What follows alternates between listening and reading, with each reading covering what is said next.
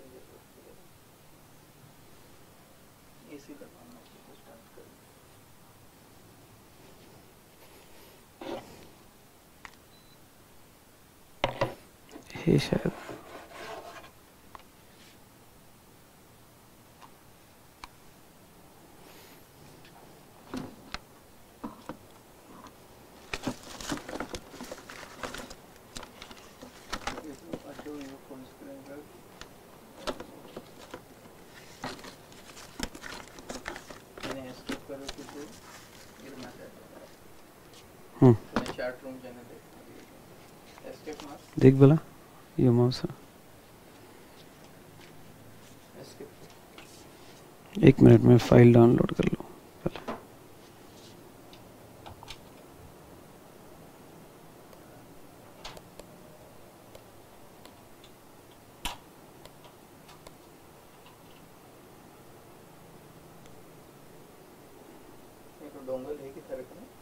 लगा रहा है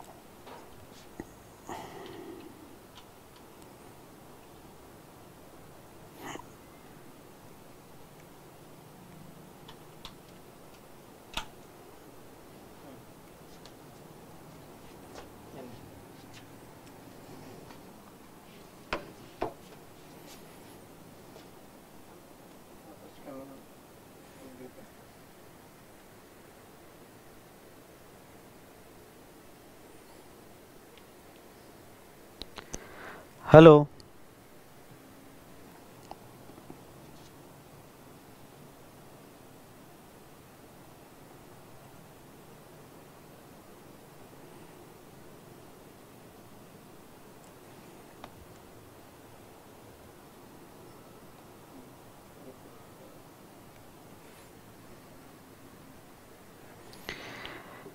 बेटा ऑडिबल हो पा रहा हो क्लियरली सबको? एक बार फिर से सभी लोग हाँ बोल दे फिर हम आगे बढ़ेंगे। सभी यस कह दे प्लीज़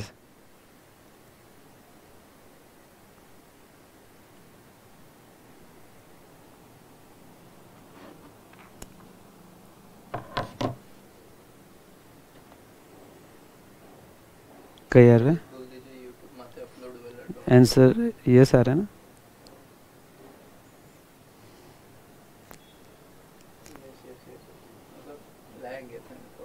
Hmm.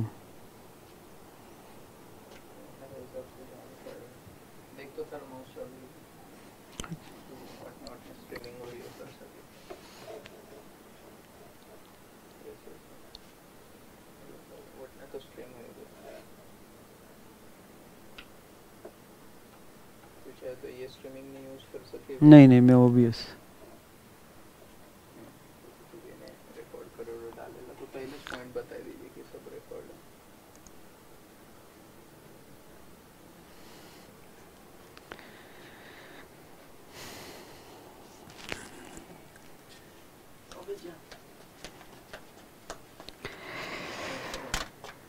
चलो दोस्तों good afternoon to all of you यहाँ सबसे पहले आज लाइव में आपके सामने आया हूँ। ये हमारा पहला सेशन है, जहाँ मैं आपके साथ लाइव कोऑर्डिनेट कर रहा हूँ।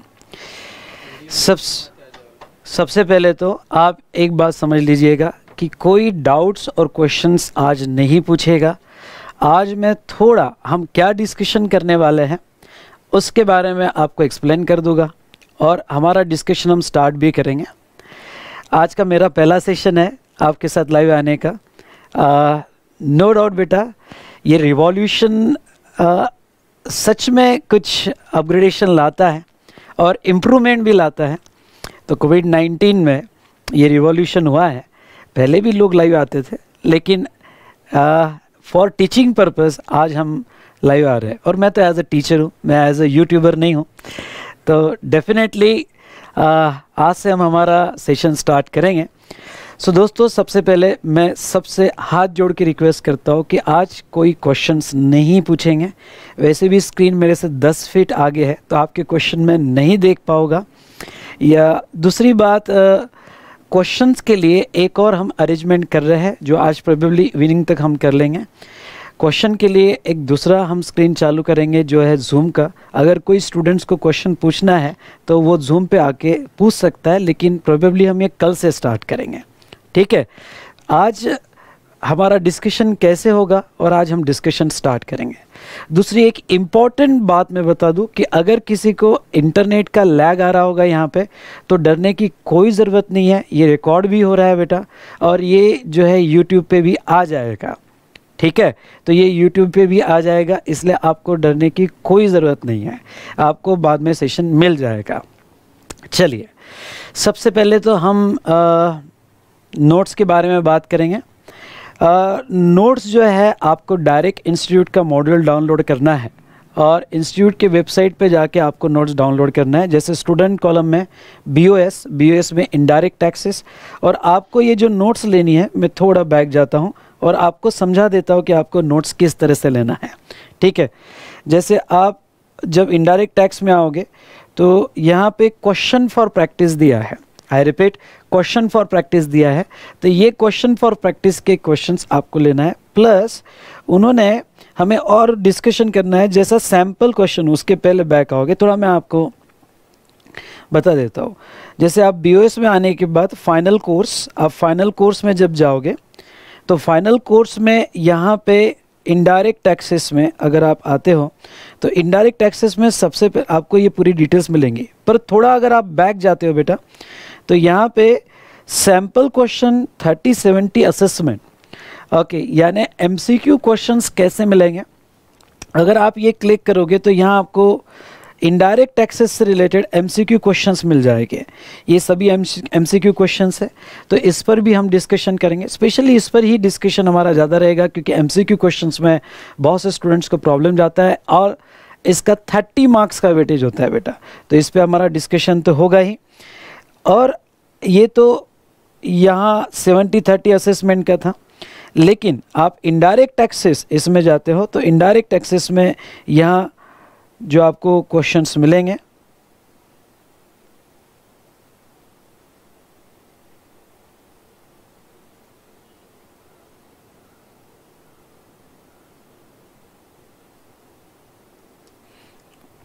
तो वहाँ आपको एडिशनल क्वेश्चंस की लिस्ट मिलेगी।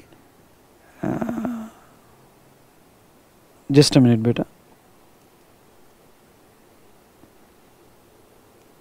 ये क्वेश्चन फॉर प्रैक्टिस और क्वेश्चन फॉर प्रैक्टिस में आपको चैप्टर वाइज पूरा डिटेल्स दिया है। अब, ये जो क्वेश्चन फॉर प्रैक्टिस है चैप्टर वाइज उन्होंने बहुत अच्छे क्वेश्चंस बना के दिए हैं। लेकिन एक अच्छी बात ये बता दूँ कि इसमें से सिर्फ़ 10 क्वेश्चन ऐसे हैं जो हमारे क्वेश्चनर में कवर्ड नहीं है। बाकी सभी क्वेश्चंस हमारे क्वेश्चनर में कवर्ड है। तो बेटा, मैं W W dot V smart academy dot com slash Vishal sir पे आज या कल में लिस्ट डाल दूँगा कि ये जो क्वेश्चंस है, जो इंस्टीट्यूट ने यहाँ पे एडिशनल क्वेश्चन फॉर प्रैक्टिस दिए है इन जीएसटी और हमारे क्वेश्चनर में वो क्वेश्चंस कहाँ कवर्ड है चैप्टर और वो क्वेश्चन कहाँ कवर्ड है, ये मैं लिस्ट बना के दे दूँगा तो आपको आसान होगा। अगर आपका क्वेश्चन में भी आपको ढूंढना हो तो उतने क्वेश्चंस आपके कम हो जाएँगे। तो हमें ये चैप्टर वाइज डिस्कशन जो है हमें यहाँ पे करना है। मेरा मेन ऑब्जेक्ट आपसे कनेक्ट होने का यही है बेटा, क्योंकि मैंने क्वेश्चन या डिस्कशन तो यूट्यूब पे डाला है। ओके एज वेल एज आपके साथ बहुत सी बार ओके डिस्कशन करते वक्त रेगुलर क्लास में भी मैं डिस्कशन करते वक्त मैं क्वेश्चनर लेता ही हूँ। ठीक है दोस्तों, लेकिन यहाँ पे अभी मैं कुछ सिलेक्टेड क्वेश्चंस पे, पूरे तो होना पॉसिबल नहीं है, पर सिलेक्टेड क्वेश्चंस को लेकर मैं आपके साथ ये डिस्कस करूँगा लाइव कि आपने लिखना कैसे चाहिए। वैसे तो बाकी सब क्वेश्चंस मेरे क्वेश्चनर्स में है और वो क्वेश्चनर्स की डिस्कशन जो है यहाँ पे यूट्यूब पे ऑलरेडी डाले हुए हैं। अगर आपको कुछ क्वेश्चंस में क्वेश्चन यहाँ पे कन्फ्यूज़न होता है तो आप वो क्वेश्चंस मेरे क्वेश्चनर्स पे देख सकते हो बेटा। और यहाँ पे क्वेश्चन को टैली करने का लिस्ट जो है मतलब ये क्वेश्चन मेरे क्वेश्चनर में कहाँ पे मिलेगा, उसका लिस्ट मैं www.vsmartacademy.com विशाल सर पे डाल दूँगा। ठीक है? तो आपको ये सभी क्वेश्चंस डाउनलोड करके रखना है पीडीएफ कॉपी पे रखना है।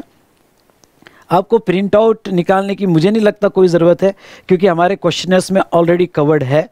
आ, जो रिसेंट अपडेटेड क्वेश्चन जिनके पास है मैं उनकी बात कर रहा हूँ। अदरवाइज़ फिर उनको अगर रिसेंट अपडेटेड क्वेश्चन जो मई 2020 का था अगर वो आपके पास नहीं होगा तो फिर बेटा मैं इतना ही कहूँगा यहाँ पे कि यस फिर आपको ये क्वेश्चंस डाउनलोड करने पड़ेंगे। प्लस जो 3070 का पैटर्न है, जिसमें एमसीक्यू दिए गए हैं इनडायरेक्ट एक्सेस वो कम्प्लीटली नए हैं। ओके तो वो मैं आपके साथ डिस्कस करूँगा।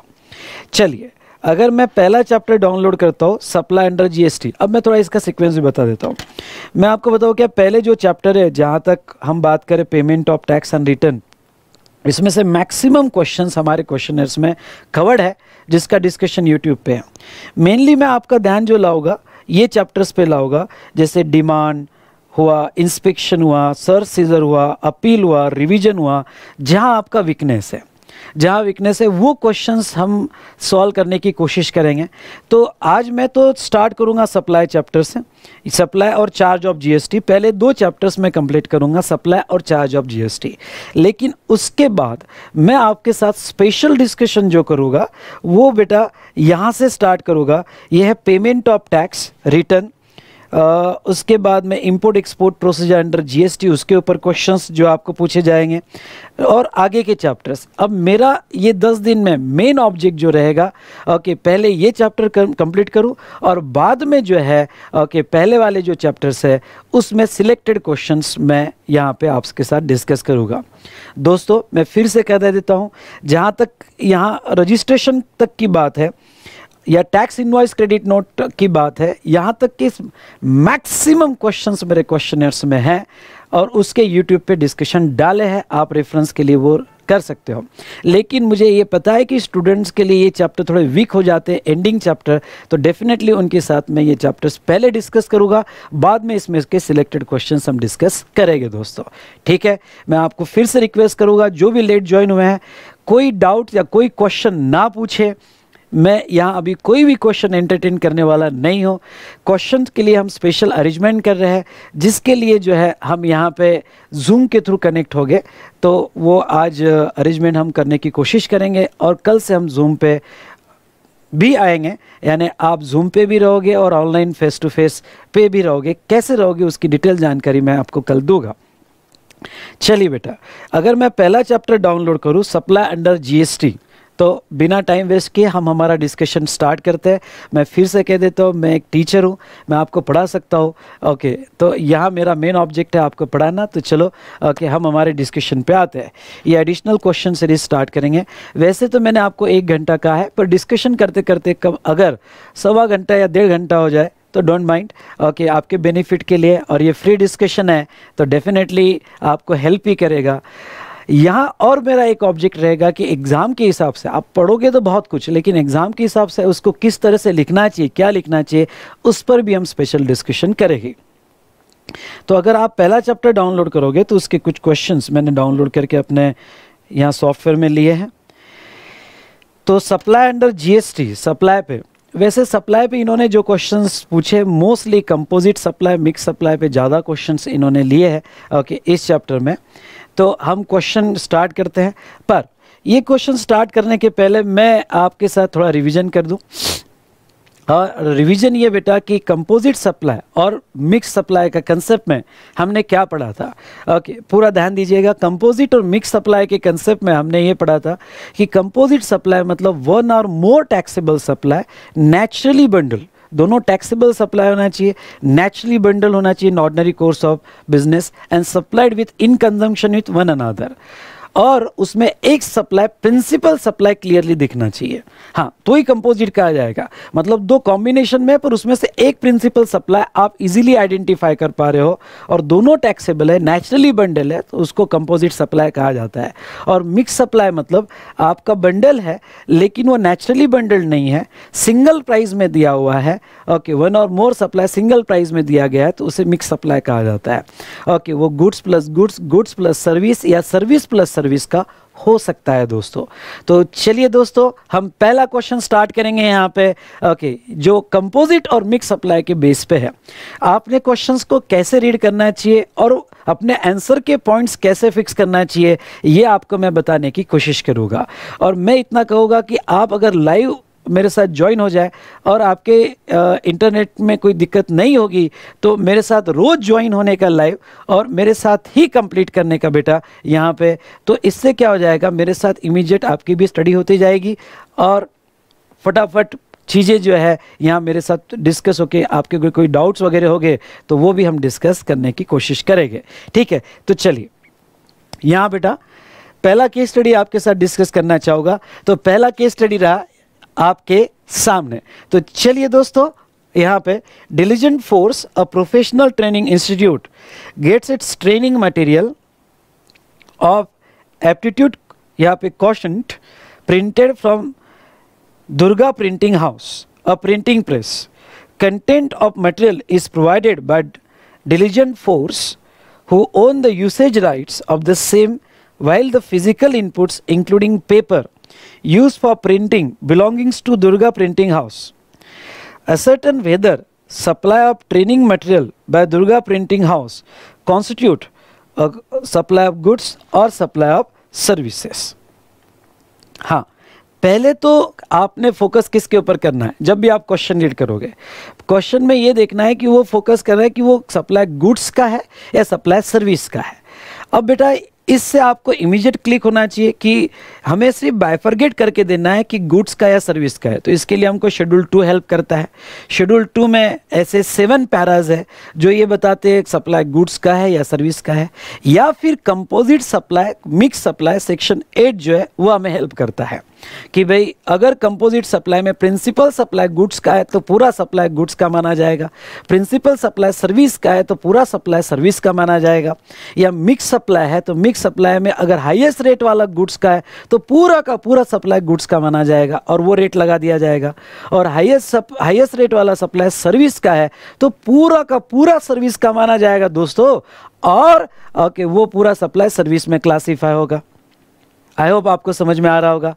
अब दोस्तों, यहाँ पे ध्यान से सुनिएगा। क्वेश्चन से मैं समझ गया कि मुझे फोकस सप्लाई चैप्टर में कहाँ करना है। दूसरा बेटा अगर आप रीड करके गए होगे तो आपको एक क्लैरिफिकेशन याद आना चाहिए। प्रिंटेड मटेरियल प्रिंटेड मटेरियल मतलब बुक्स हम प्रिंट कर रहे हैं, जिसके ऊपर हमने दो क्लैरिफिकेशन देखे थे। एक, कि हमने जॉब वर्कर को प्रिंटिंग के लिए दिया, और दूसरा, हमने पब्लिशर को प्रिंटिंग के लिए दिया। यहाँ जो है, वो बात करते जॉब वर्कर को प्रिंटिंग के लिए दिया। ओके तो यहाँ पे एक प्रोफेशनल इंस्टीट्यूट है, और हमने यहाँ पे जॉब वर्क के लिए प्रिंटिंग के लिए दिया। अब बेटा यहाँ एक क्लैरिफिकेशन था सीबीआईसी क्लैरिफिकेशन था। ये रिसेंट क्लैरिफि 2017 का क्लैरिफिकेशन था, जिसके ऊपर ये क्वेश्चन बनाया गया है। तो आप अगर पढ़ते हो क्लैरिफिकेशन क्योंकि जीएसटी में क्लैरिफिकेशन बहुत इंपॉर्टेंट है आउट ऑफ़ 75 मार्क्स मुझे ऐसा लगता है कि 10 मार्क के क्वेश्चंस आइदर प्रॉब्लम में प्रैक्टिकल क्वेश्चंस में, या फिर आपको अलग केस स्टडी करके क्लैरिफिकेशंस में पूछा जाएगा। जैसे लास्ट एग्ज़ाम जो, जिसमें यहाँ पे एक क्लैरिफिकेशन था जॉइंट वेंचर का कैश कंट्रीब्यूशन का ओके तो और वो पेट्रोलियम इंडस्ट्री से रिलेटेड था। तो उसमें दो तीन क्लैरिफिकेशन प्लस आपके सप्लाई का कंसेप्ट ऐसे मिलाकर उन्होंने क्वेश्चंस पूछे थे। तो दोस्तों, यहाँ पे चलिए, फटाफट देखते हैं कि यहाँ ये क्लैरिफिकेशन तो स्टार्ट कैसे किया? ओके बिल्कुल यहाँ याद करने की कोशिश मत करना। मेरे साथ पहले आप इंस्टीट्यूट का पैटर्न देखना। ये इंस्टीट्यूट का पैटर्न कैसा है? लिखने का। क्योंकि बेटा, जब मैं स्टडी करता था तो मैं याद करने से ज़्यादा अपने साथ फिर से बुक ओपन करके देखता था कि जैसे सभी बुक्स मैंने ओपन करके रखी हुई है। मैंने ये कंसेप्ट कहाँ पढ़ा? शेड्यूल टू में। फिर मैंने कंपोजिट मिक्स सप्लाई का मैंने पेजेस देख लिए। प्लस मैं वो क्लैरिफिकेशन भी सामने रख रहा हूँ। अब मैंने जो पढ़ा है ओके ये केस पढ़ते ही कुछ स्टूडेंट्स यहाँ पे हो और वो स्टूडेंट्स जो है, यहाँ पे उनको क्लिक हो गया होगा कि ये तो सर ने एग्ज़ाम्पल दिया था प्रिंटिंग मटेरियल वाला, ये तो जॉब वर्क है, ये तो सप्लाई सर्विस में जाएगा। ओके क्योंकि इंटेलेक्चुअल प्रॉपर्टी एजुकेशनल इंस्टीट्यूट है, ये तो सिर्फ़ प्रिंट करके दे रहा है और क्लैरिफिकेशन एक लाइन में याद आ जाएगा। पर बेटा, अगर क्लैरिफिकेशन आपको एक लाइन में याद आ गया और आपके दिमाग में क्लिक हो गया कि ये सप्लाई ऑफ़ सर्विसेस है, इससे कुछ नहीं होगा दोस्तों। कि एक लाइन में उनको नहीं चाहिए। उनको मुझे उनको जो चाहिए वो रंगा रंगा के चाहिए। ओके, यहाँ पे रंग दे मुझे गेरुआ। इंस्टीट्यूट कहती है कि हमें पूरा उसको प्रॉपर वे में एक्सप्लेन करके दो, एक लाइन में मत दो।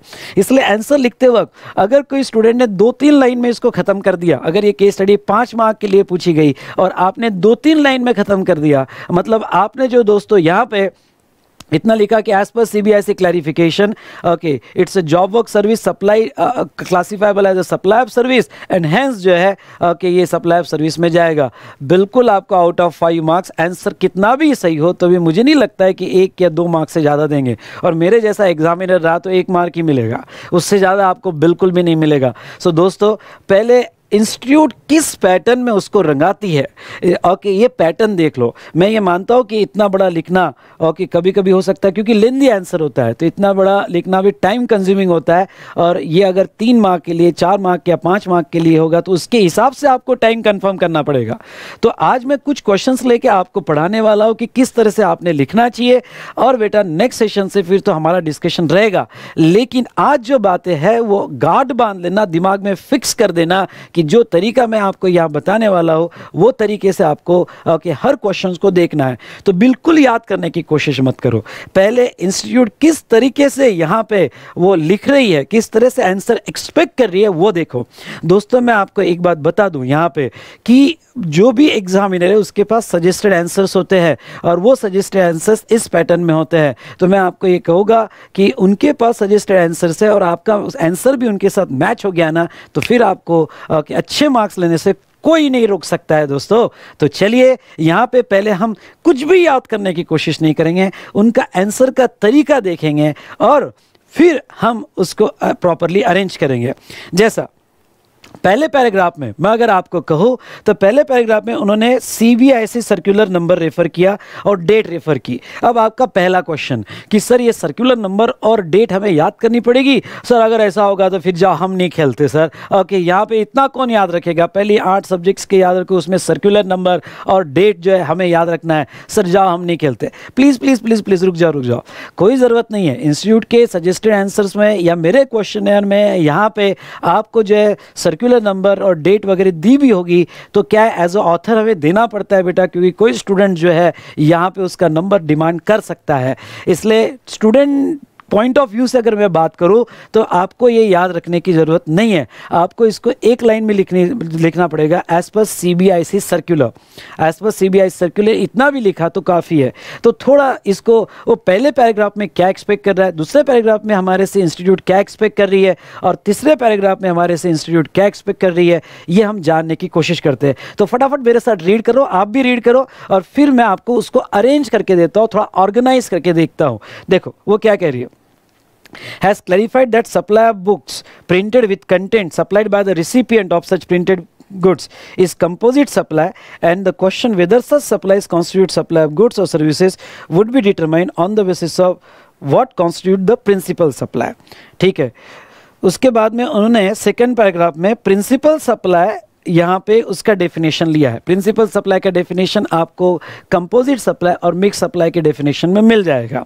उसके बाद में थर्ड इसमें उन्होंने कंक्लूड किया थर्ड पैराग्राफ में in case of printing of books where contents supplied by publisher और a person who owns the usage rights to an intangible inputs while the physical inputs including paper use in the printing belongs to printer और last में कहा है कि it is classifiable as a supply of services अब आपको एक बात कहो क्या?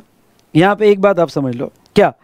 आपका लैंग्वेज एक रिजनेबल होगा लेजिबल मैनर में होगा दैट्स इनफ बहुत से स्टूडेंट्स क्या यहाँ पे टेंशन ले लेते हैं कि, सर, क्या हमें ऐसा का ऐसा लिखना है क्या? बिल्कुल नहीं। आपको क्या ऐसे के ऐसे वर्ड्स डालने हैं क्या? बिल्कुल नहीं। ओके, आप सिर्फ़ कंसेप्ट को समझिए, उसका अरेंजमेंट को समझिए और यहाँ पे उसको प्रॉपर वे में लिखिए। नाउ इसको लिखने का तरीका इंस्टीट्यूट आपसे क्या एक्सपेक्ट कर रही है? इंस्टीट्यूट ये एक्सपेक्ट करिए फ़र्स्ट के पैराग्राफ में आप सीबीआईसी क्लैरिफिकेशन में क्या इंपॉर्टेंस है वो बताइए। फिर हमें उस क्लैरिफिकेशन के बेस पे आप गिवन फैक्ट्स को एक्सप्लेन कीजिए। मतलब आप हमें सिर्फ़ एक लाइन में ये ना बताएँ कि it is classifiable as a supply of service okay clarification क्या कहता है? गिवन फैक्ट्स क्या कहते हैं? और फिर हमें कंक्लूड करके दीजिए। तो आप एग्ज़ाम में ऐसा कर सकते हो। C B I C clarification discussion and conclusion I repeat C B I C clarification legal sorry ये लीगल प्रोविज़न थी प्रिंसिपल इनपुट्स की एंड डिस्कशन एंड क्लैरिफिकेशन ऐसे टाइटल्स भी दे सकते हो और ये टाइटल दे के आपको ये आंसर सॉल्व करना है। अब आपके सामने आई होप कि बुक भी होगी। आपने अपना बुक ओपन करके रखा होगा। या कल से ये प्रैक्टिस करना कि बुक भी सामने रखना। आ, आपने बुक ओपन करके रखा होगा। वो क्लैरिफिकेशन आपके सामने होगा। अब मैंने जब क्लैरिफिकेशन आपको दिया तो टेबल वेबल बना के दिया उसमें क्लैरिफिकेशन दिया।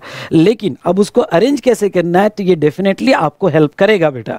तो अब इसको यहाँ पे वर्ड्स से ज़्यादा अरेंज करो। ओके ऑर्गेनाइज करो आंसर को। हाँ पहले इसमें मुझे सीबीआईसी क्लैरिफिकेशन देना है। और सीबीआईसी क्लैरिफिकेशन में ये बताना है कि भाई ये कंपोजिट सप्लाई है, क्योंकि ये क्लैरिफिकेशन ऑलरेडी कह चुका है कि ये कंपोजिट सप्लाई है और वो प्रिंसिपल सप्लाई में क्लासीफाई होगा।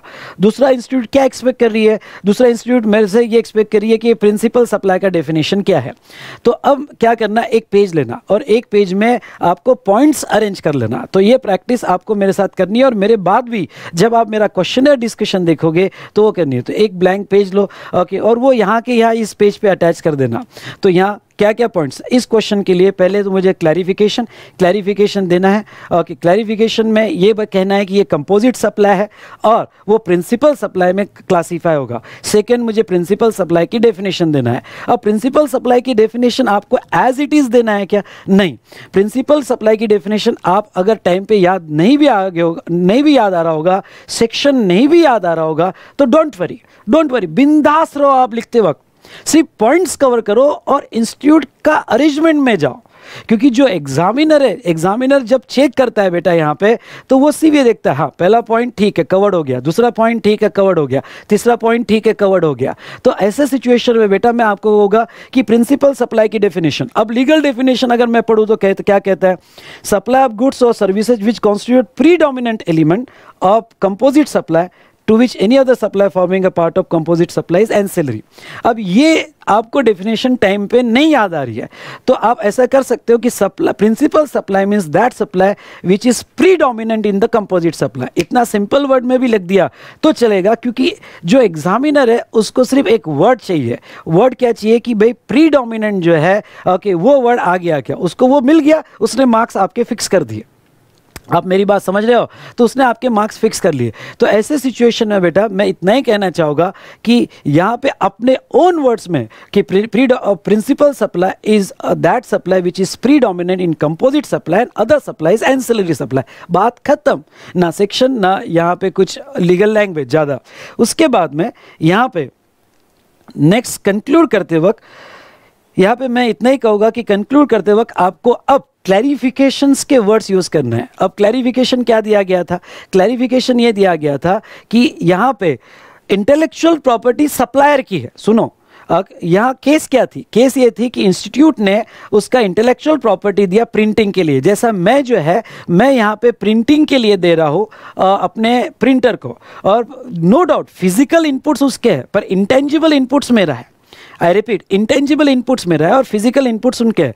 अब वो फ़िज़िकल इनपुट्स पर मेरी इंटेलेक्चुअल प्रॉपर्टी प्रिंट करेगा और प्रिंट करके बुक बनाएगा। दिखने में तो बुक्स दिखेगी। जब वो मुझे गुड्स सप्लाई करेगा तो दिखने में तो गुड्स दिखेगा बेटा। लेकिन वो वो जो प्रिंटर है, उसका कॉन्ट्रैक्ट क्या रहेगा? गुड्स का रहेगा कि सर्विस का रहेगा? वो किसमें क्लासीफाई करेगा बेटा? ये बड़ा इंपॉर्टेंट है। तो यहाँ क्लैरिफिकेशन ये कहा कि भाई फ़िज़िकल इनपुट्स उसके हो गए लेकिन डोमिनेंट प्री डोमिनेंट जो है प्रिंसिपल सप्लाई इंटेलेक्चुअल प्रॉपर्टी का है और ये प्रिंसिपल सप्लाई अगर इंटेलेक्चुअल प्रॉपर्टी का है तो ये सप्लाई जॉब वर्कर के लिए गुड्स में नहीं किसमें क्लासीफाई होगा बेटा? सर्विस में। क्योंकि उसने सर्विस दी मेरे इंटेलेक्चुअल प्रॉपर्टी पे प्रिंट करके दिया तो वो क्लासीफाई तो इस कंसेप्ट को अपने ओन वर्ड्स में अच्छे से समझ लो और फिर उसको यहाँ पे लिखने की कोशिश करो। अब अब जब आप इंस्टीट्यूट का आंसर पढ़ोगे तो इसमें कुछ वर्ड्स आएँगे। आप अब जब नोट निकाल रहे हो तो वो वर्ड्स अगर आगे ना आपका आंसर लिखते वक्त लैंग्वेज का कंस्ट्रक्शन इधर उधर हुआ तो भी चलेगा बेटा। मैं आपको कहता हूँ मैंने बहुत अच्छा स्कोर किया था D T I D T law में ओके ये टेक्निक फॉलो करके। मैं पहले याद करने से ज़्यादा मैं बहुत ज़्यादा फोकस करता था कि इंस्टीट्यूट कि, किस वे में मुझसे चाहती है। ओके और उस वे में मैं हर पॉइंट कवर कर पा रहा हूँ क्या? तो यहाँ पे इंस्टीट्यूट कुछ वर्ड्स आपसे चाहती है, और ये फैक्ट्री सिर्फ़ आईडीटी में नहीं। आप डीटी लॉ या अदर सब्जेक्ट्स हो गए तो उसमें भी डेफिनेटली यूज़ करो बेटा। तो ऐसे केस में इंस्टीट्यूट आपको क्या वर्ड चाहती है? मैं पहले पैरा पढ़ लेता हूँ और फिर आपको कहता हूँ कि क्या वर्ड्स उनको चाहिए, फिर लैंग्वेज को लैंग्वेज में उसको अरेंज करो। In case of printing books where content is supplied by publisher or person who own the usage rights uh, in an intangible inputs हाँ उनको ये वर्ड चाहिए कि पब्लिशर ने जो दिए यहाँ पे वो इंटेंजिबल इनपुट्स है वेल फ़िज़िकल इनपुट्स तो दो वर्ड्स उनको कोई भी हालत में यहाँ पे चाहिए। तो बेटा मैं फिर से कह दूँ आपकी दो तीन लाइन में आंसर लिख दिया कि ये सप्लाई आप सर्विस में जाएगा। ओके ये सप्लाई ऑफ़ सर्विस में जाएगा, उससे नहीं चलता है। उनको वो थोड़ा एक्सप्लेन करके चाहिए, कुछ वर्ड्स चाहिए। तो एक इंटेंजिबल इनपुट्स जो यहाँ पे रिसिपियंट ने दिया और एक यहाँ पे फ़िज़िकल इनपुट्स उनको ये दो वर्ड्स चाहिए तो ही उनको मज़ा आएगा मार्क्स आपको मिलेंगे। Including paper use for printing belonging the printer supply printing on the basis of content of another would constitute a supply of service, okay? or so in given case Durga printing house would constitute ये जो the supply of training material by Durga printing house would constitute a supply of service यानी वो printer के लिए जो है, वो supply of service माना जाएगा। ठीक है? तो डिलीजेंट फोर्स ने यहाँ पे जो दुर्गा प्रिंटिंग हाउस को दिया, यहाँ पे इंटेलेक्चुअल प्रॉपर्टी तो दुर्गा प्रिंटिंग हाउस के लिए वो सप्लाई ऑफ़ सर्विस माना जाएगा। एक बार फिर से, एक बार फिर से। ओके आपने पढ़ लिया। मैं आज थोड़ा तरीका बताऊँगा पढ़ने का क्वेश्चन आंसर पढ़ने का। ये जो आपके पास टाइम है, दो महीने बेटा, अब आप बुक वगैरह सब भूल जाओ। लो क्वेश्चन आंसर मेरा क्वेश्चन या additional question RTP mock test paper और मैक्सिमम उसके ऊपर प्रैक्टिस करो। मैं आपको लिख के देता हूँ, अगर आपने अब रेगुलर बुक सिर्फ़ रेफरेंस के लिए रखा, और आपने अब प्रैक्टिस किया मेरा क्वेश्चन या एडिशनल क्वेश्चन जो बहुत से क्वेश्चन मैच हो जाएगा आपका। और उसके बाद में R T mock test paper, ये अगर आपने साथ में लेके ख़त्म कर दिया ना बेटा, बस इनफ मैं आपको कहता हूँ कि आपको अबाव सेवेंटी मिलेंगे। हाँ अबाव सेवेंटी मिलेंगे बेटा इनडायरेक्ट एक्सेस में। तो एक बार फिर से ऑर्गेनाइज करो। तो मैं पहले क्लैरिफिकेशन दूँगा। एज पर सीबीएसई क्लैरिफिकेशन अगर कंपोजिट सप्लाई है तो वो केस में वो प्रिंसिपल सप्लाई में क्लासीफाई होगा।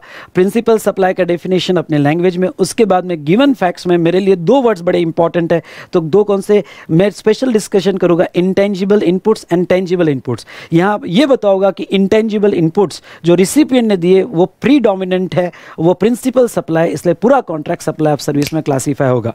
अब बेटा, मैं ये नहीं कहूँगा कि इतना पूरा एग्जैक्ट एज इट इज़ लिखना है। बस मैं आपको इतना कहूँगा बेटा यहाँ पे कि पहला पैरा अब तीसरी कोशिश करना कि पहला पैरा जो है, आपका दो लाइन में ख़त्म हो जाए, दूसरी ये डेफिनेशन एक से दो लाइन में ख़त्म हो जाए, और तीसरा ये डिस्कशन आपका तीन लाइन में ख़त्म हो जाए, और कंक्लूजन एक लाइन में ख़त्म हो जाए। चार मार्क के लिए या पाँच मार्क के लिए इतने पॉइंट्स आपने कवर कर लिए दैट इनफ और आपने पॉइंट्स पे अगर आपने टाइटल दे दिए तो और उससे अच्छा क्या बेटा? आइसक्रीम पे चेरी आ जाएगी। पॉइंट्स यानी पहला ओके, यहाँ पे आपने clarification C B I C clarification legal provision discussion and conclusion okay, आपने अगर ये पॉइंट्स भी डाल दिए तो मज़ा आ जाएगा। तो ये था पहला क्वेश्चन आई होप आप सेटिस्फाइड हो गए। मैंने आपको क्वेश्चन पूछने के लिए मना किया है, वो हम देखेंगे बाद में कि उसको कैसे अरेंज करना। लेकिन लिखने का तरीका डेफिनेटली आप इससे समझ गए होंगे। ना दूसरी बात, दूसरा क्वेश्चन लेते हैं। यहाँ पे दूसरा question Agrawal carriers is a goods transport agency which is engage in the transportation of goods by road हाँ तो यहाँ पे क्वेश्चन को ध्यान से पढ़िएगा। कभी कभी क्या होता है क्वेश्चन को आप क्वेश्चन के फैक्ट्स भी, क्योंकि कभी कभी लेंदी क्वेश्चन आते हैं, मैं लूँगा कुछ लेंदी क्वेश्चन तो अगर पढ़ते गए ना तो वहाँ इतना ज़बरदस्त प्रेशर होता है बेटा, कि पढ़ने में भी लिंक नहीं लगती है फास्ट आप एक बार पढ़ते हो, दूसरे बार पढ़ते हो, फिर क्वेश्चन को समझने की कोशिश करते हो। तो इसलिए मैं आपको ये सजेस्ट करूँगा कि आप जैसा पहला क्वेश्चन पढ़ रहे हो अग्रवाल कैरियर्स अगर आपने फैक्ट्स को फटाफट एक मिनट में, इसलिए आंसर शीट में आपने एक रफ वर्क के लिए लेफ़्ट साइड में एक छोटा सा कॉलम तैयार कर दिया और उसके फैक्ट्स आप लिखते जा रहे हो तो यहाँ पे अग्रवाल कैरियर है। ओके तो ये अग्रवाल कैरियर जो है, यहाँ पे जीटी है लिख दिया आपने फैक्ट्स लिख दिए, चलो। इससे क्या हो जाएगा, जितने आप फैक्ट्स लिखते जाओगे ना, उतना फास्ट इतने हेवी टेंशन में, क्योंकि वो तीन घंटा बहुत ज़्यादा टेंशन होता है बेटा तो इतने हेवी टेंशन में आप केस को इमीजिएट लिंक होते जाओगे इमीजिएट लिंक होते जाओगे, नहीं तो क्या क्या होता है स्टूडेंट से एक मिस्टेक होती है। और स्टूडेंट से ये मिस्टेक होती है, बेटा, कि पहली बार पढ़ लिया, वो इतने टेंशन में पढ़ा कि उसका लिंक ही नहीं लगा। दूसरी बार पढ़ा, फिर थोड़ा बहुत समझ में आया। तीसरी बार पढ़ा, फिर उसको क्या लिखना चाहिए, ये याद आ रहा है। तो बेटा, इसमें बहुत टाइम चले जाता है। इसलिए पहले से ही क्वेश्चन के साथ कनेक्ट हो जाओ। जितने जल्दी आप क्वेश्चन के साथ कनेक्ट हो जाओगे ना दोस्तों, ओके, उतना जल्दी आपको बेटा, यहाँ पे टाइम बचेगा। क्वेश्चन क्या डिमांड कर रहा है, ये समझेगा। तो अग्रवाल कैरियर्स जीटीए है who. Is engage in transportation of goods by road अब मैं जीटीए कह रहा हूँ तो जीटीए डेफिनेटली बाय रोड लिखते लिखते जाओ। और मेरा पूरा क्वेश्चन है, और ये एडिशनल प्रैक्टिस ये बिल्कुल ऐसे ही सॉल्व करो। आपको बहुत हेल्प करेगा। तो बाय रोड होगा। As per general business practice हाँ ये वर्ड बड़ा इंपॉर्टेंट है। As per general business practice यहाँ पे। ये आपको कुछ मैसेज देगा आगे। Agrawal carrier also provide intermediate and ancillary services like loading unloading packing unpacking transshipment and temporary warehousing in relation to transportation तो फैक्ट्स में लिखो कि वो ट्रांसपोर्टेशन के साथ ट्रांसपोर्टेशन के साथ okay ancillary services loading unloading warehousing okay transshipment etcetera ये जो है एंसिलरी सर्विसेज़ प्रोवाइड कर रहा है। एंसिलरी सर्विसेज़ प्रोवाइड कर रहा है और ये एज पर जनरल प्रैक्टिस है। एज पर जनरल प्रैक्टिस है, ये केस को पूरा बदल देगा। एज पर जनरल प्रैक्टिस है, उसके बाद में with reference to provision of GST law analyse whether such service are to be treated as part of GTA service being a composite supply और इट्स अ सेपरेट सप्लाईज अब ध्यान से देखिएगा। Question बहुत क्लियर है। ओके गुगली क्वेश्चन नहीं है complex question नहीं है। बस उनका ये कहना है कि क्या ये कंपोजिट सप्लाई में पूरा का पूरा सप्लाई जीटीए में क्लासीफाई होगा क्या? अगर जीटीए में क्लासीफाई होगा तो फिर वो कंसेप्ट आ जाते हैं, बेटा five percent rate reverse charge normal charge ऐसे बहुत सारे कंसेप्ट आपके सामने आ जाते हैं। आपको इतना पूरा डिटेल में नहीं जाना है। आपको सिर्फ़ यहाँ पे हाँ वो क्लासीफाई होगा क्या? दो सेकंड के लिए आके क्लोज करो। क्या लगता है? इससे रिलेटेड एक क्लैरिफिकेशन भी मैंने पढ़ाया था। वो क्लैरिफिकेशन इन्होंने रेफर किया होगा तो ठीक। अदरवाइज़ यहाँ पे मैंने क्लैरिफिकेशन आपको पढ़ाया था। ठीक है? यहाँ पे क्या? तो कुछ स्टूडेंट्स के दिमाग में इमीडिएट आंसर आ गया कि यस जीटीए के साथ अगर एज पर जनरल प्रैक्टिस कह रहा है वो तो loading unloading warehousing and other services जो है, ये नेचुरली बंडल है और ये नेचुरली बंडल है तो प्रिंसिपल सप्लाई ट्रांसपोर्टेशन है, इसलिए जीटीए में क्लासीफाई हो गया। आगे आपके दिमाग में, लेकिन आपके दिमाग में जो आया ओके ये इसको अब बेस लगेगा, इसको रंगाना पड़ेगा। और इंस्टीट्यूट किस तरह से आपका आंसर चाहती है, ये बेटा डेफिनेटली यहाँ देखो तो आपको हेल्प होगी कि यहाँ इंस्टीट्यूट किस तरह से आंसर चाहती है। तो क्या करना अगर आपको कुछ भी क्लिक नहीं हो रहा है तो बिल्कुल मत डरो ये स्टेज पे। और अपने आप को बिल्कुल डीमोटिवेट मत करो कि, अरे यार, मैंने तो पढ़ा था, याद नहीं आ रहा है। बिल्कुल नहीं करना, अपने आप को डीमोटिवेट ओके अपनी बुक आपके सामने रखो। अपनी बुक्स ओपन करो कि क्या अच्छा ये इतना तो समझ गया ना कंपोजिट सप्लाई में तो उसके कंसेप्ट एक बार फटाक से रिव्यू कर लेना। या मेरा बूस्टर रिविजन आपके पास होगा फास्ट ट्रैक कोर्स का रिविजन आपके पास होगा तो फटाक से वो रिव्यू कर लेना कंसेप्ट को। हाँ फिर यहाँ पे कोई क्लैरिफिकेशन मैंने क्लैरिफिकेशन मैंने दिया था। अगर हो होगा तो वो एक बार रीड कर लेना। तो आपके सामने आंसर का स्ट्रक्चर बन रहा है। और ये प्रैक्टिस से ही होगा। जो स्टूडेंट ये सोच रहे होगे कि मैं एग्ज़ाम के टाइम मैनेज कर लूँगा बस अभी पढ़ लेता हूँ बेटा बिल्कुल ऐसा मत करना। और आपका लक है आपको इस बार इंस्टीट्यूट ने एक्स्ट्रा टाइम दिया है ऐसा बहुत रेयर होता है। और इंस्टीट्यूट ने क्या दिया है? ओके वो यहाँ पे आपको मिल गया है कोविड नाइन्टीन के वजह से। तो बेटा आ, मैंने कहीं तो भी एक मैगजीन में पढ़ा था कि क्राइसिस जो है भाई हम पेंडेमिक क्राइसिस कहते हैं तो क्राइसिस जो है तो ये डिस्ट्रॉय भी करती है तो क्राइसिस अपॉर्चुनिटीज़ भी लाती है। तो नो डाउट ये कोविड नाइन्टीन का क्राइसिस हमारे सबके लिए एक बहुत बड़ा प्रॉब्लम है और इससे हम लड़ेंगे ही। लेकिन मैं आपको ये कहूँगा कि हमारे लिए कुछ अपॉर्चुनिटीज़ भी लाएगा। तो बेटा, आपको दो महीना मिला है, ओके, इतनी जान डाल दो ना पढ़ते पढ़ते आपने पढ़ा होगा पहले, पर अब वो डीटी हो आईडीटी हो लॉ हो क्वेश्चन आंसर क्वेश्चन आंसर जितना आप प्रैक्टिस करोगे, उतना आपको एज आएगी और आप सक्सेस की तरफ़ बढ़ोगे दोस्तों। तो दोस्तों, यहाँ पे चलिए, आ जाइए। अब मैं क्या कह रहा हूँ? ये जो है, इन्होंने हमारे सामने क्वेश्चन तैयार हो गया। याद करने की कोशिश ही मत करना ये मैंने। ओके ये मैंने जब प्रैक्टिस करोगे मेरे साथ तो बिल्कुल याद नहीं। अपनी बुक सामने, सब कुछ सामने। ओपन बुक एग्ज़ाम हाँ ओपन बुक एग्ज़ाम अभी सिर्फ़ आपका जो है, इस पर ध्यान होना चाहिए कि मैं लिखूँगा कैसे। माइंड बराबर काम करता है दोस्तों। ओके अगर आपने माइंड को चीज़ें ऑर्गेनाइज करके ओके सेव करके दी ना तो वो बराबर आपको रिकॉल करके देगा। आपको प्रेशराइज नहीं करना पड़ेगा माइंड को कि आपको वो रिकॉल करके दे। तो चलिए दोस्तों, फटाफट मेरे साथ देखिए। ओके हमारे सामने आ गया। पर हम पहले इंस्टीट्यूट का आंसर पढ़ेंगे, पहले कोशिश करेंगे कि इंस्टीट्यूट क्या चाहती है हमारे से, फिर ये भी कोशिश करेंगे कि इतना बड़ा आंसर लिखने से क्या हम थोड़ा बहुत शॉर्ट इसको कर सकते हैं क्या? अगर शॉर्ट कर सकते हैं तो कहाँ शॉर्ट कर सकते हैं? तो एक पेज पेन आपके सामने होना चाहिए। पॉइंट्स हम फिक्स करेंगे इंस्टीट्यूट के आंसर को देख के और फिर इसको प्रॉपरली अरेंज करके कहाँ हमने ज़्यादा एक्सप्लेनेशन देना चाहिए, कहाँ हमने कम एक्सप्लेनेशन देना चाहिए और कहाँ, किस तरह से हमने कंक्लूड करना चाहिए, इस पर हम बात करेंगे। बेटा, ये केस स्टडी भी बहुत अच्छी केस स्टडी है तो ये रही आपके सामने। पहले मैं रीड कर लेता हूँ। पहले इसमें उन्होंने जो है कंपोजिट सप्लाई का डेफिनेशन दिया। ओके सेक्शन 230 का। दूसरे, इसमें मिक्स सप्लाई का डेफिनेशन दिया। मतलब आईसीएआई हमारे से क्या चाहती है? आईसीएआई हमारे से ये चाहती कि पहले इसमें जो है, यहाँ ओके आप मिक्स सप्लाई के बारे में डेफिनेशन में लिखो। दूसरा, आप कंपोजिट सप्लाई के बारे में डेफिनेशन लिखो। ओके तो चलो आपके नोटबुक में फ़र्स्ट पॉइंट ये, जो केस स्टडी टू है, उसमें वो कंपोजिट सप्लाई का डेफिनेशन मांग रही है। सेकेंड पॉइंट मिक्स सप्लाई का डेफिनेशन मांग रही है। ओके थर्ड इसमें थर्ड इसमें वो देखो क्या कहते हैं। ओके थर्ड इसमें वो डिस्कशन कर रहे हैं हमारे साथ। डिस्कशन क्या कर रहे हैं? Various intermediate and ancillary services provided by GTA are not provided as independent services but as ancillary to principal supply namely transportation of goods by road. The invoice issued by GTA providing said service includes value of intermediary and ancillary services. In view of this, हाँ ये भी वो point दिख रहे हैं कि भाई वो इन्वॉइस दोनों का साथ में दिया गया है। In view of this if intermediate ancillary services is provided in relation to transportation of goods by road and charges if any for such services are included in the invoice issued by Agrawal carrier.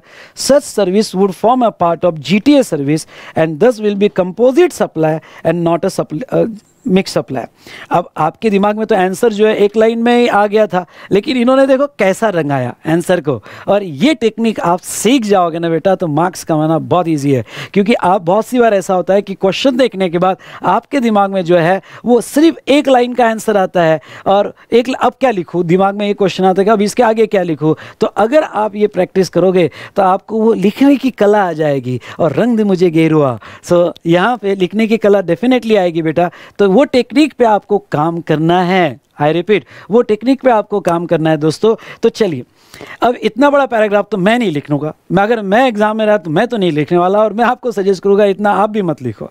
इसमें से main ingredients निकालो। Okay तो यहाँ पे discussion में discussion में कुछ words पे आपका ध्यान देना चाहिए। और वो ये है कि एक जीटीए जी सर्विस और एनसीली सर्विस लेकिन इसमें दो पॉइंट पे आपका ध्यान आना चाहिए कि उसने इन्वॉइस में इंक्लूड करके चार्ज किया है और एज पर जनरल प्रैक्टिस है। हाँ ये दो पैराग्राफ में दो ही पॉइंट है कि यहाँ पे कैरियर ने जो है ट्रांसपोर्टर ने जो है, वो इन्वॉइस में एंसिलरी चार्जेस भी इंक्लूड किए हैं प्लस एंसिलरी चार्जेस भी इंक्लूड किए हैं plus okay as per general practice वो दे रहा है। बस ये दो पॉइंट्स आपके कवर हो गए ना तो पूरा पैराग्राफ कवर हो गया बेटा। आई रिपीट पूरा पैराग्राफ कवर हो गया और फिर आप इसको जीटीए सर्विस में क्लासीफाई करोगे और इसको यहाँ पे मिक्स सप्लाई में क्लासीफाई नहीं करोगे। ठीक है? फर्दर एक लास्ट पैराग्राफ में क्या एक्सपेक्ट कर रहे हैं?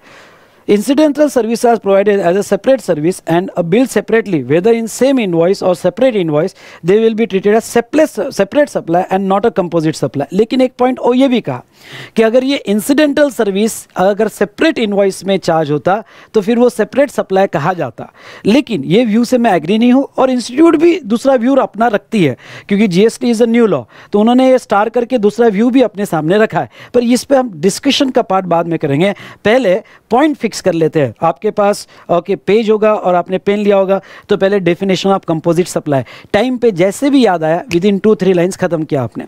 Composite supply means two or more taxable supply naturally bundle in ordinary course of business supply in conjunction with one another mix supply मतलब two or more taxable two or more individual supply in a single price which is not a composite supply खत्म। बेटा, बस examiner आपका पूरा paper नहीं पड़ेगा उसको आप पॉइंट्स बता दो। पॉइंट्स बता दो कि हाँ कंपोजिट वो उसने पहला पैराग्राफ सेकंड पैराग्राफ वो। अब पर आपने आंसर को इस तरह से रंगाया है इस तरह से आपने मोल्ड किया है कि वो आपका मेन डिस्कशन पढ़े और उसमें कुछ पॉइंट्स पढ़ ले और आपको मार्क्स दे दे।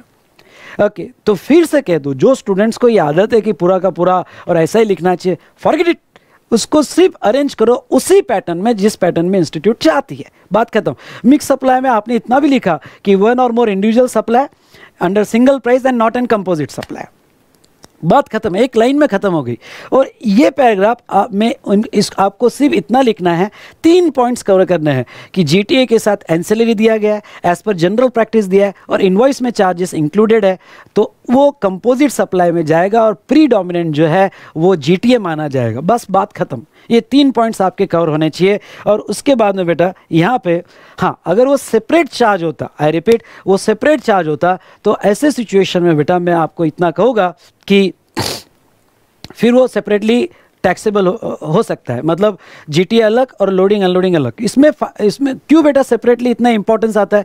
क्योंकि जीटीए को रिवर्स चार्ज लगता है। लोडिंग अनलोडिंग यानी कार्गो हैंडलिंग सर्विस और वेयर हाउस को reverse charge five percent rate नहीं है उनको तो अठारह परसेंट रेट है। तो वो सेपरेट चार्ज किया तो फिर अलग अलग आपका असेसमेंट हो सकता है। वो दो लाइन में आपको लिखना है। लेकिन यहाँ पे इंस्टीट्यूट ने ये भी लिखा है जो मैं स्ट्रांगली ये फेवर में हूँ और मैंने जब आपको कंपोजिट सप्लाई पढ़ाया था तो मैंने ये चार्ट बना के दिया था आपको कि कंपोजिट सप्लाई होगा होगा तो वो आप सेपरेटली इन्वॉइस में चार्ज करें या ना करें। अगर वो नेचुरली बंडल्ड होगा तो आपने सेपरेट इन्वॉइस में चार्ज भी किया होगा तो भी वो प्रिंसिपल सप्लाई में ही जाएगा। मैंने कार का एग्ज़ाम्पल लिया था।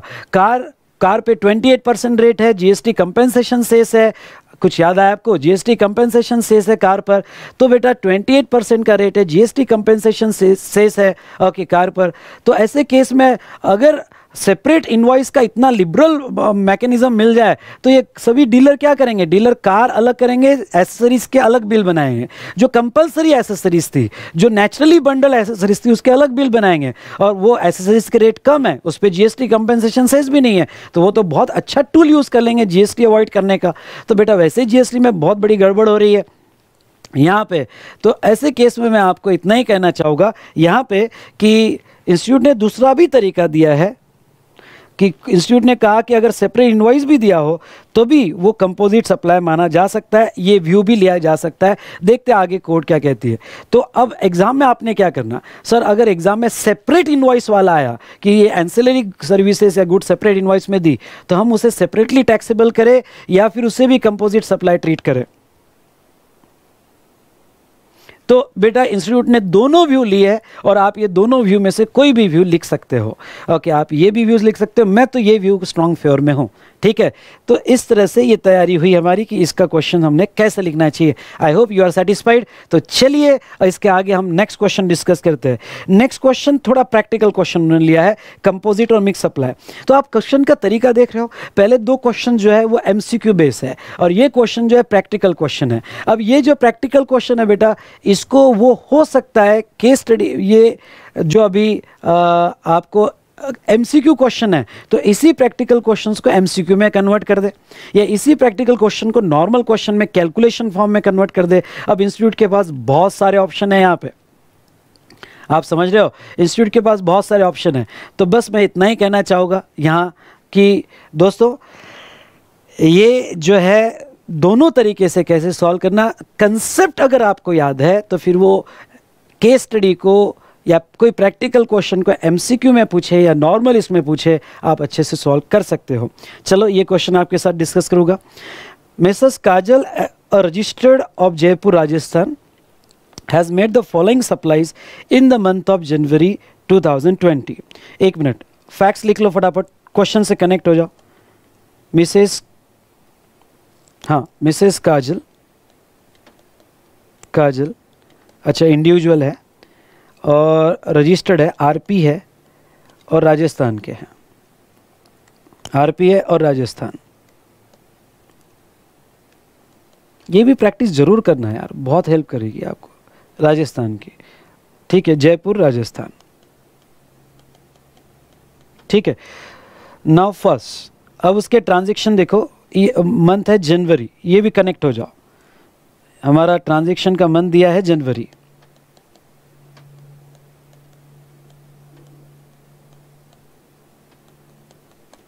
जनवरी।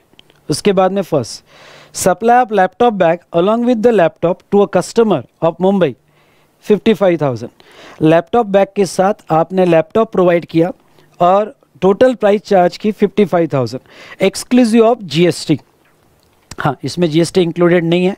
इस बात का आप ध्यान दीजिएगा। ओके तो लैपटॉप बैग विथ लैपटॉप इस पर आपका क्लिक हो जाना चाहिए कि ये पहले तो कंपोजिट सप्लाई है। ओके लैपटॉप बैग के साथ लैपटॉप जो आता है नेचुरली बंडल है कंपोजिट सप्लाई है। तो फिर टोटल आपका असेसमेंट फिफ्टी फाइव थाउज़ेंड और सिंगल प्राइस भी दिया हुआ है। Second supply of ten thousand kits at rupees fifty each ठीक है।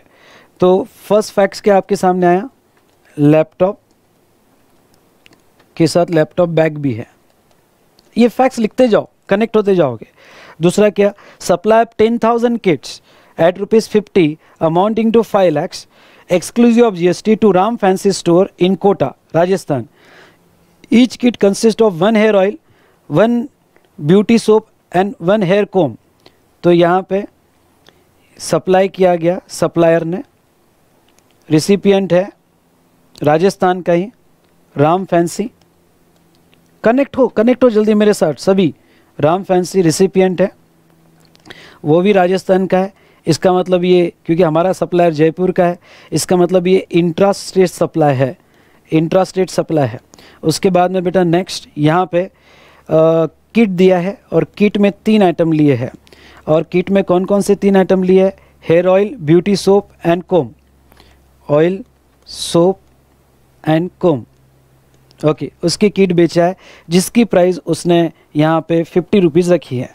ठीक है, उसके बाद में next hundred kits are given as a free gift to Jaipur customer on the occasion of Mrs Kajal birthday free gift दिया है hundred kits each kit consist of one hair oil and one beauty soap cost of each kit is thirty five but the open market value of such kit of goods. And goods of like kind and quality is not available. ठीक है। ओहो open market value of kit and like kind और quality not available ये ऐसे words आपने valuation chapter में पढ़े थे। ठीक है। Input tax credit has not been taken okay on goods contain in the kit तो चलो, यहाँ पे नेक्स्ट फैक्ट्स काजल ने यहाँ फ्री सप्लाई फ्री गिफ्ट दिए हैं। और किसको? तो यहाँ बहुत से कस्टमर को फ्री गिफ्ट बांटे हैं। कितनी? हंड्रेड किट्स बांटी हैं। ठीक है? अब हंड्रेड किट्स यहाँ जो बाटी है, उसमें ऑयल और सोप हेयर ऑयल और सोप ये था। ओके. कनेक्ट हो जाओ क्वेश्चन के साथ। जितना जल्दी कनेक्ट हो गया आंसर आते जाएँगे। आप जितना मेरे साथ लिख रहे हो तो देखो आंसर आपके दिमाग में आते जाएगा दोस्तों। तो ऑयल और सोप उसके बाद में नेक्स्ट जो है बेटा, यहाँ पे। हम्म। कॉस्ट दी है। ये किट का कॉस्ट आपको दिया है। थर्टी फाइव रुपीज़ हाँ इसका ओपन मार्केट वैल्यू और like kind and quality available नहीं है। कॉस्ट दिया है लाइक काइंड और क्वालिटी अवेलेबल नहीं है। मैं ये भी बताऊँगा कि आप क्या क्या मिस्टेक कर सकते हो। लेकिन थोड़ा रुक जाना, हम अभी फैक्ट्स को एनालाइज कर रहे हैं। ठीक है? तो यहाँ हमारा, और मेन इंपॉर्टेंट पॉइंट उन्होंने जो दिया है, आपने इसका आईटीसी नहीं लिया है। ये किट का आईटीसी जो है नॉट टेकन ये भी इंपॉर्टेंट फैक्ट है कि आपने आईटीसी नहीं लिया है। चलो, उसके बाद में event management services provided free of cost Mrs Kajal ने इवेंट मैनेजमेंट सर्विस भी दिया है। Free of cost to her brother for his son marriage function in Indore Madhya Pradesh. ओहो। यहाँ पे cost of providing the said services is eighty thousand but the open market value of such services और services of like kind and quality is not available चलो, एक तीसरा transaction उन्होंने क्या दिया है? देखो, पहला ट्रांजेक्शन हमारा ये हुआ। सॉरी, पहला ट्रांजेक्शन लैपटॉप बैक का हुआ, ये सेकंड हुआ, ये थर्ड ट्रांजेक्शन हुआ। मेरे साथ फटाफट, चौथा, आप भी ड्रॉ करो, काजल ने यहाँ पे इवेंट मैनेजमेंट सर्विस दी। इवेंट मैनेजमेंट सर्विस दी। ओके उसके ब्रदर को। ठीक है ब्रदर को जो सर्विस दी ब्रदर मध्य एमपी में है। ओ तो अदर स्टेट में है। उसके बाद में नेक्स्ट यहाँ पे पहला वाला ट्रांजेक्शन जयपुर के कस्टमर थे। वो भी मैं लिख लेता हूँ क्योंकि इंट्रास्टेट या इंटरस्टेट इससे फिक्स होगा। दूसरा ब्रदर एमपी में है। इसकी जो सर्विस दी, इसकी कॉस्ट जो है बेटा कॉस्ट एटी थाउज़ेंड थी और उसकी ओपन मार्केट वैल्यू अवेलेबल नहीं है। ठीक है? और ये इवेंट मैनेजमेंट सर्विस ब्रदर को फ्री दिया गया है। ब्रदर को यहाँ पे फ्री दिया गया है। चलो। नेक्स्ट नेक्स्ट ट्रांजेक्शन को एनालाइज करते हैं। 1400 chairs and 100 coolers hire out to a function garden Ajmer Rajasthan for rupees three lakh thirty thousand तो नौ काजल ने यहाँ पे नौ ये जो है, राजस्थान में ही फ़ंक्शन था। राजस्थान में ही फ़ंक्शन था बेटा। तो वहाँ पे चेयर्स और कूलर हायर पे दिए। चेयर्स जो थी, वो 1400 थी। और कूलर्स जो थे बेटा, यहाँ पे। चलो चलो, फटाफट, आप भी मेरे साथ ट्राई करो, सिर्फ़ देखो मत। ओके, कूलर्स जो थे, यहाँ पे वो हंड्रेड थे। अगर कोई स्टूडेंट ये सोच रहा होगा कि नहीं नहीं, हम वो पढ़ लेंगे, कर लेंगे बाद में तो उनके लिए ये ये डिस्कशन नहीं है। ये डिस्कशन बेटा उन स्टूडेंट्स के लिए है जो रियली कुछ करना चाहते हैं मेरे साथ। और ये एक डेढ़ घंटा वो बोर नहीं हो गए ओके मेरे साथ ही इन्वॉल्व होके जानेंगे कि हमने क्वेश्चंस कैसे पढ़ने चाहिए और आंसर्स कैसे लिखने चाहिए। तो लाइफ में कभी ये क्वेश्चन नहीं रहेगा कि, सर प्लीज़ ये बताओ ना कि हम एग्ज़ाम में कैसे प्रेजेंट करना चाहिए। प्रेजेंटेशन पे आपका क्वेश्चन नहीं होगा। पहले केस को एनालाइज कर लो। तो यहाँ पे क्या किया उन्होंने? ओके एक्सक्लूसिव ऑफ़ जीएसटी है। वैल्यू तीन लाख ये हायरिंग पे दिया है और थ्री लैक्स थर्टी थाउज़ेंड उसकी वैल्यू है। Cost of transportation including cost of transportation of chair and cooler for from Mrs Kajal's godown at Jaipur to a functions garden Ajmer अब ये थ्री लैख थर्टी थाउज़ेंड में transportation भी included है। Transportation भी included है three lakh thirty thousand में। ठीक है। Mrs. Kajal has paid a cost of transportation of chair and cooler to an unregistered GTA. अब उसने ये सर्विस GTA से ली थी। GTA से ली थी जो अनरजिस्टर्ड था। ठीक है? अनरजिस्टर्ड GTA से ली थी, जिसका यहाँ पे twenty thousand exclusive of G GST वो जीटीए भी जो था, वो राजस्थान का ही था। वेरी गुड ओके और वो twenty rupees for each chair and each cooler and in turn has charge twenty only for each chair and cooler for function of garden for transportation of the same. तो उसने जो service ली थी, उसने यहाँ पे twenty thousand for chair and cooler दोनों के लिए so twenty rupees for chair and cooler जो है, वो सेपरेटली पे किया। और नेक्स्ट बेचा चार्ज जब किया तो चार्ज करते वक्त उसने यहाँ पे twenty rupees only for each chair and each cooler from functions of garden ठीक है? तो यहाँ पे चार्ज करते वक्त उसने चेयर और कूलर का कंबाइन चार्ज किया। Okay G T next point interest interest rupees six thousand four hundred was collected by Mrs Kajal in January from Ram fancy stores Ram वाला हमारा एक था कस्टमर हाँ। ये राम फैंसी स्टोर से इंटरेस्ट कलेक्ट किया उसने जनवरी में। तो इससे जनवरी में इंटरेस्ट कलेक्ट किया। Six thousand four hundred. Four hundred interest collect किया। For payment received with delay of thirty days तो इंटरेस्ट कलेक्ट कर लिया। चलो। अब अगर आप ये केस स्टडी देखोगे तो ये केस स्टडी सिर्फ़ सप्लाई पे नहीं है। This is a mix of composite supply mix supply valuation valuation में इंटरेस्ट की adjustment also on the basis of concept of supply सब चीज़ें एक साथ आ रही है। तो अब आपने केस स्टडी पढ़ लिया, पर बहुत सारी चीज़ें एक साथ है। तो चलो, फटाफट यहाँ पे एक एक एक एक प्रॉब्लम सॉल्व करो इमेजिन करो, और फिर हम आंसर भी पढ़ेंगे। आई रिपीट आंसर भी पढ़ेंगे और लिखने का तरीका भी देखेंगे। पहले आप कोशिश तो करो और फिर देखते हैं आपका और आंसर कितना मैच होता है। नहीं मैच होता है तो डरने की ज़रूरत नहीं है। हम उसके लिए ये प्रैक्टिस कर रहे हैं। Are you ready for that पहला मुझे बताओ लैपटॉप के साथ लैपटॉप बैग दिया ये कंपोजिट सप्लाई है? क्या नेचुरली बंडल्ड है? बोलो हाँ। क्या ये नेचुरली बंडल्ड है? यस yes, तो ये नेचुरली बंडल्ड है बेटा। तो अब यहाँ पे ये नेचुरली बंडल्ड रहेगा। तो पूरा सप्लाई लैपटॉप में जाएगा और लैपटॉप का रेट लगेगा। आगे अगर आप देखोगे तो रेट भी दिए हैं। अलग अलग उन्होंने रेट्स भी दिए C G S T S G S T I G S T के, और आपको टैक्स लाइबिलिटी निकालने की है। तो अब टैक्स लाइबिलिटी के लिए ये बहुत ज़रूरी होता है कि वो इंट्रास्टेट है या इंटरस्टेट है। कमा ये बहुत ज़रूरी होता है कि वो इंट्रास्टेट है या इंटरस्टेट है। तो पहले केस में पूरा जो है, यहाँ पे अमाउंट जो है, पाँच lakh sorry fifty five thousand वो लैपटॉप के इसमें क्लासीफाई हो जाएगा और लैपटॉप का रेट अप्लाई हो जाएगा। दूसरा ट्रांजेक्शन क्या था? दूसरे ट्रांजेक्शन में उसने ओके यहाँ पे इंट्रास्टेट सप्लाई किया सिंपल इंट्रास्टेट सप्लाई किया। राजस्थान में बेचा, लेकिन किट बेचा। अब राजस्थान में जो किट बेचा उसने जयपुर में, यहाँ पे किट जो है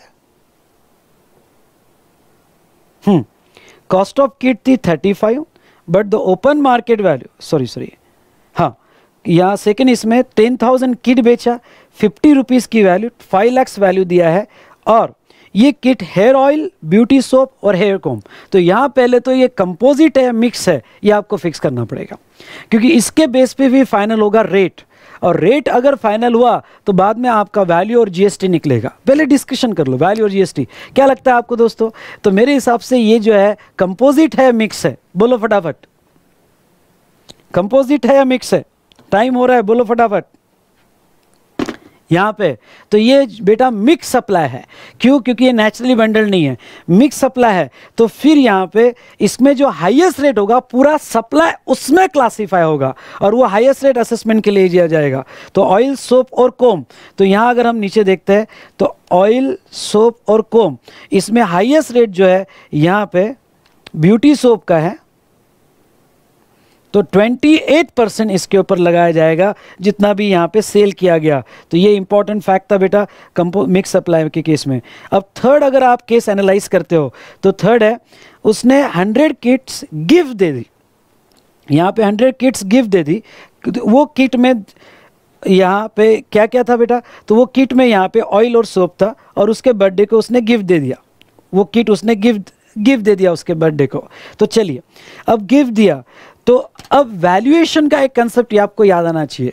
अगर विदाउट कंसिडरेशन दिया हो या फ्री गिफ्ट दिया हो तो देखो रूल 27 अप्लाई नहीं होता है। रूल 27 ऑफ़ वैल्यूएशन तब अप्लाई होता है जब कंसिडरेशन है, पर मनी में नहीं है। 27 तब अप्लाई होता है जब स्टॉक ट्रांसफ़र हो या रिलेटेड पार्टी हो। 28 तब अप्लाई होता है जब प्रिंसिपल एजेंट हो। और 20 twenty seven twenty eight twenty nine sorry twenty eight nine तब अप्लाई हो जाए प्रिंसिपल एजेंट हो। थर्टी कॉस्ट बेस वैल्यूएशन जाएगा। और उसका कॉस्ट बेस वैल्यूएशन के लिए उन्होंने यहाँ पे कहा है कि उसकी जो कॉस्ट है वो thirty five rupees per kit है। होने वाली मिस्टेक आप फटाफट कॉस्ट बेट रूल थर्टी लगा के वैल्यूएशन कर दोगे। गलत गलत। ओके okay, पहली बात तो बेटा उन्होंने एक और पॉइंट दिया है कि उसका आईटीसी नहीं लिया है। और ये पॉइंट पूरा आंसर चेंज कर देगा। आईटीसी नहीं लिया है तो बेटा अब मैं ये कहना चाहूँगा ये सप्लाई ही नहीं है। सप्लाई के लिए सेवन वन ए या फिर schedule one seven one C seven one A में कंसिडरेशन नहीं है क्योंकि गिफ्ट दिया हुआ है तो सप्लाई नहीं है।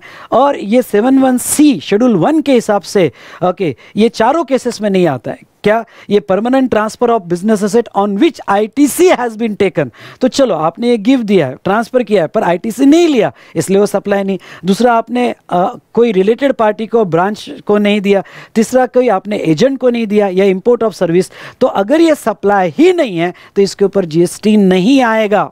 आई रिपीट इसके ऊपर जीएसटी नहीं आएगा। तो ये पॉइंट बड़ा इंपॉर्टेंट था। उसके बाद में नेक्स्ट बेटा इवेंट मैनेजमेंट सर्विसेज़ तो यहाँ पे देखो आंसर में अगर आप देखते हो तो बी का जो राम फैंसी को दिया, वो तो हमने लिया ही।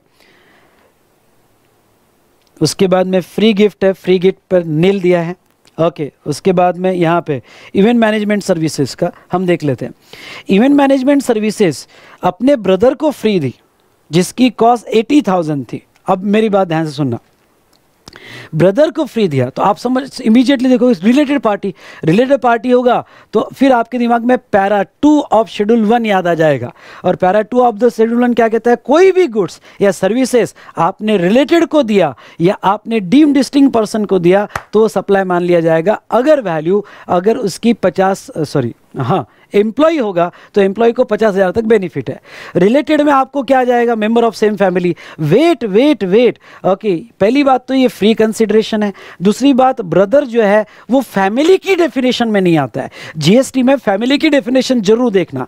ब्रदर और सिस्टर वो फैमिली की डेफिनेशन में तभी आएगा जब वो डिपेंडेंट है। और यहाँ पे केस ये लग रहा है कि वो डिपेंडेंट नहीं बच्चा हो गया? कहाँ से वो डिपेंडेंट है? तो आप यहाँ नोट लिख सकते हो कि ब्रदर जो है he is not not a dependent person और वो फैमिली के डेफिनेशन में नहीं आएगा, इसलिए वो रिलेटेड नहीं माना जाएगा। तो अब वो रिलेटेड नहीं है, ध्यान से सुनना, वो रिलेटेड नहीं है तो बात जम गई। क्यों? क्योंकि ये सेवन वन ए का सप्लाई नहीं है, क्योंकि विदाउट कंसिडरेशन है और ये सेवन वन सी का भी सप्लाई नहीं है शेड्यूल वन का भी सप्लाई नहीं है। क्यों? क्योंकि यहाँ पे जो सर्विस दी गई, वो ऐसे बंदे को दी गई जो रिलेटेड नहीं है तो चारों पैराग्राफ में नहीं आता है। तो इसके ऊपर भी जीएसटी नहीं आएगा। इतना आपको क्लिक हो जाना चाहिए, ठीक है? तो ही मज़ा आएगा बेटा। उसके बाद में नेक्स्ट हाँ थोड़ा इसको समझ लो। अब बेटा मैं आपको ये बता दूँ। यहाँ जो है सप्लायर के के अपने के हायरिंग दे रहा है चेयर्स एंड कूलर्स हायरिंग दे रहा है और जब हायर कर रहा है तो वो हायर करते वक्त ट्रांसपोर्टेशन उसमें इंक्लूड है। तो यहाँ दो जगह उन्होंने ट्रांसपोर्टेशन दिया है। एक, जब वो आउटवर्ड सप्लाई कर रहा है दोस्तों, जब वो आउटवर्ड सप्लाई कर रहा है उसमें ट्रांसपोर्टेशन दिया है और जब वो इनवर्ट सप्लाई कर रहा है तो वहाँ पर भी ट्रांसपोर्टेशन दिया है। तो पहले तो हम आउटवर्ड सप्लाई करते हैं। बिल में आपने ट्रांसपोर्टेशन चार्ज किया आई रिपीट बिल में आपने ट्रांसपोर्टेशन चार्ज किया तो क्या वो जीटीए सर्विस मानी जाती है? नहीं। आप जाके कंपोजिट सप्लाई का बुक ओपन कीजिए, वहाँ पर मैंने दिया है कि अगर आपने गुड्स के साथ packing charges transportation charges freight charges insurance charges लगाए तो वो कंपोजिट सप्लाई का ही पार्ट माना जाएगा। और इसमें आपका ट्रांसपोर्टेशन जो इंक्लूडेड है तो वो जो ट्रांसपोर्टेशन इंक्लूडेड है बेटा, वो आपके मेन गुड्स में ही क्लासीफाई होगा। तो यहाँ आप जी नहीं माने जाओगे। दूसरी बात मैं आपको बताता हूँ। इंस्टीट्यूट ये भी व्यू ले रही है, क्योंकि पहला सवाल ये खड़ा हो रहा है कि यहाँ के ने जो राज को यहाँ पे, नहीं के ने यहाँ पे कस्टमर को जो चेयर्स या कूलर्स हायर हायर पे दिए हैं तो उसमें जो ट्रांसपोर्टेशन लगाया है तो क्या ट्रांसपोर्टेशन चार्जेस ये सर्विस अलग से मानी जाएगी? नहीं, ये मेन सप्लाई का ही पार्ट माना जाएगा, और तो ये पूरा कॉन्ट्रैक्ट सर्विस में ही क्लासीफाई होगा, वो हायरिंग एंड एक्सेट्रा दूसरा एक बात बता दूँ टैक्सीबिलिटी जी पे है। अगर आप एग्जम्पन याद करते हो तो एग्जम्पन में जी के अलावा बाकी सभी रोड ट्रांसपोर्ट एग्जम्प्ट है। ओके जी और कुरियर ही टैक्सेबल है, बाकी सब रोड ट्रांसपोर्ट एग्जम्प्ट है बेटा। तो ये केस में मैं आपको ये बता दूँ कि यहाँ पे आ, ये जो मिसेस के है ये इंडिविजुअल है और ये जीटीए नहीं माना जाता है।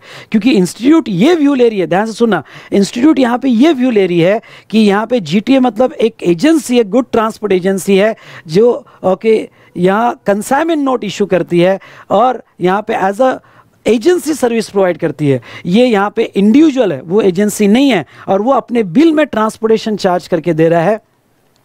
मेरी बात समझ रहे हो? वो अपने बिल में ट्रांसपोर्टेशन चार्ज करके दे रहा है। तो पहली बात, वो जी नहीं है और अपने बिल में ट्रांसपोर्टेशन चार्ज करके दे रहा है।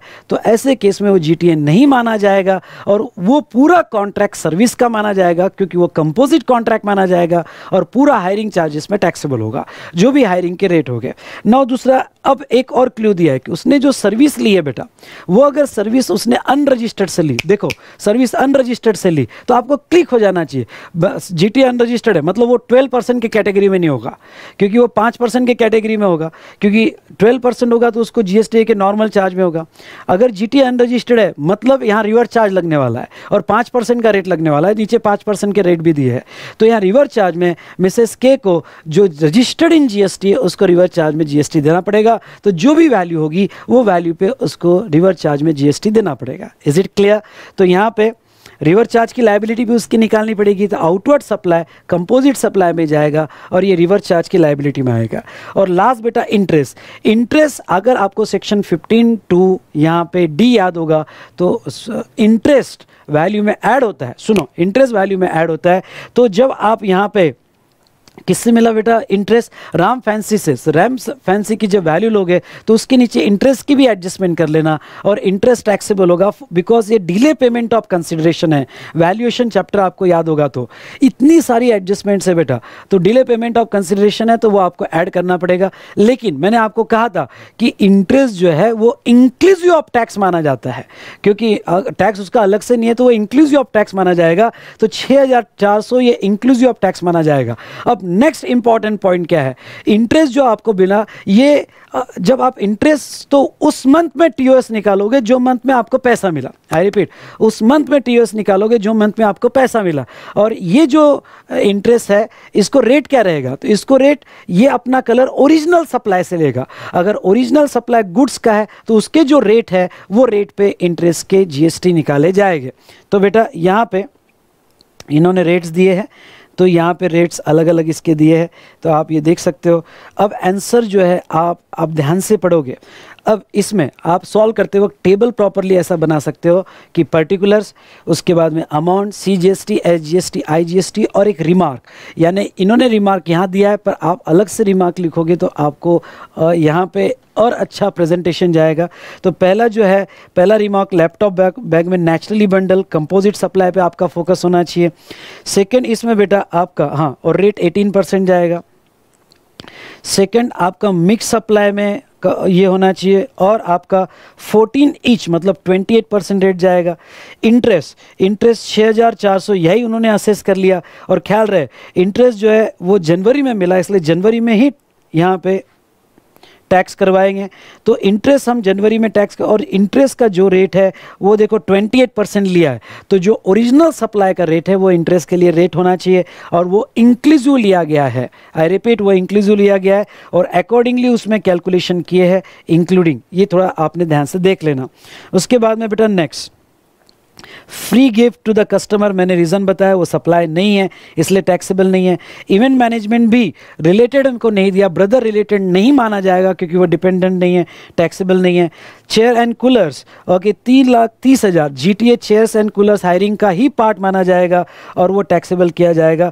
और जो भी रेट है, देखो पूरा प्रॉपरली पढ़ना कि ये composite supply principal supply hiring है, इसलिए उसमें ही क्लासीफाई होगा।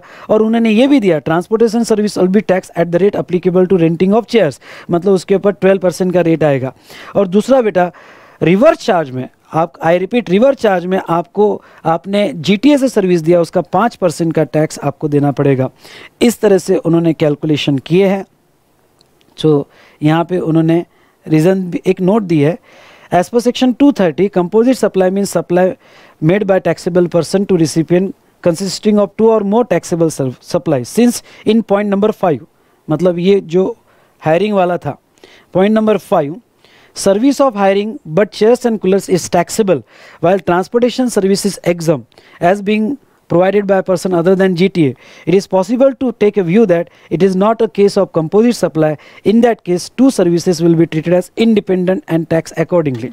हाँ इन्होंने दूसरा व्यू भी दे दिया यहीं तो इंस्टीट्यूट कंफ्यूज कर है इंस्टीट्यूट क्या कह रही है कि अगर आप ये व्यू लेते हैं कि हायरिंग के साथ जी कंपोजिट नहीं है नेचुरली बंडल नहीं है ठीक है आप ये भी ले रहे हैं कि हायरिंग के साथ जीटीए नेचुरली बंडल्ड नहीं है तो फिर जीटी जो अगर आप अलग से टैक्स करोगे तो जो ट्रांसपोर्टेशन यहाँ पे मिसेस के ने लगाया, तीस हज़ार फ्रेट लगाया, वो एज अ जीटीए में क्लासीफाई नहीं होगा, क्योंकि के जो है वो गुड्स ट्रांसपोर्ट एजेंसी नहीं है, वो एक इंडिविजुअल सर्विस दे रहा है और वो एजेंसी में नहीं आता है।